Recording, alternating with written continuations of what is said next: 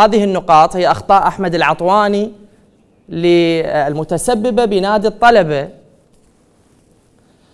أولا أحمد العطواني هو المسؤول عن تواجد الطلبة بالمركز التاسع عشر وهو المسؤول عن اختفاء عقود اللاعبين والمدربين وهو المتسبب بتدني مستوى الفريق منذ أكثر من 15 عام. أحمد العطواني هو المسؤول عن ديون النادي البالغة 400 مليون. وهو من قام بتهديد نجوم الطلبة والجماهير المطالبين بإصلاح وضع النادي. هذا اللي ارتكبه أحمد العطواني حتى يوصل للمرحلة أنه ينضرب بهذه الطريقة.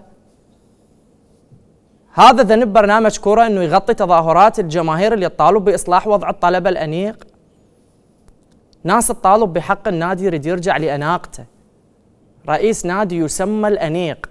هيك نتصرف ونوصل إلى ضرب بهذه العدوانية.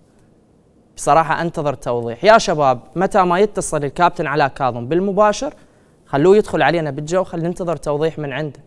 لهذه المرحلة إحنا حق الرد مكفول. لهذه المرحلة إحنا نقبل بالاعتذار ونشوف شنو السبب اللي وصل لمرحلة إنه يضرب مراسلنا.